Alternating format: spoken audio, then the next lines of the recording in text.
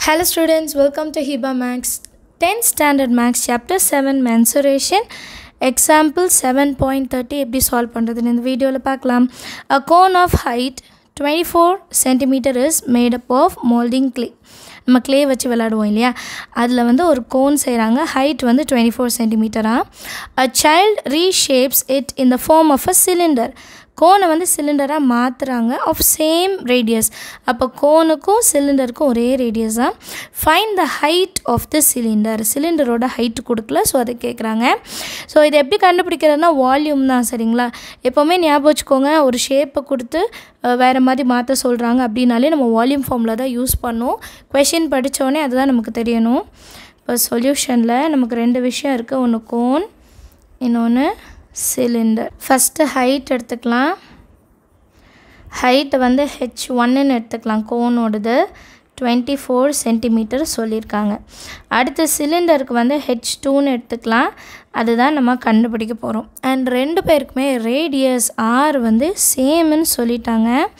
So radius வந்து ஆறு centimetre and புக்கில் பார்த்தீங்கன்னா that is equal to six சென்டிமீட்டர்னு கொடுத்துருக்காங்க. பட் நம்ம கொஷினில் அந்த மாதிரி எதுவுமே மென்ஷனே பண்ணல. ஒரு வேளை அது பிரிண்டிங் மிஸ்டேக்காக கூட இருக்கலாம். சரிங்களா? இப்போ எப்படி கண்டுபிடிக்கணும்னு சொன்னால் volume volume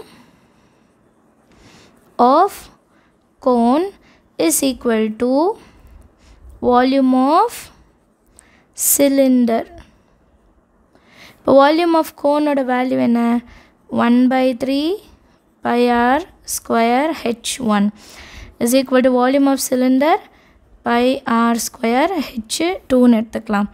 இப்போது pi pi cancel R square R square cancel one by three H one H ஒன்னோட value twenty four that is equal to H two three டேபிளில் டுவெண்ட்டி ஃபோர் எப்போ வரும்? Three eights are so eight centimetre is equal to H two அவ்வளோதான் sum therefore the height of the cylinder is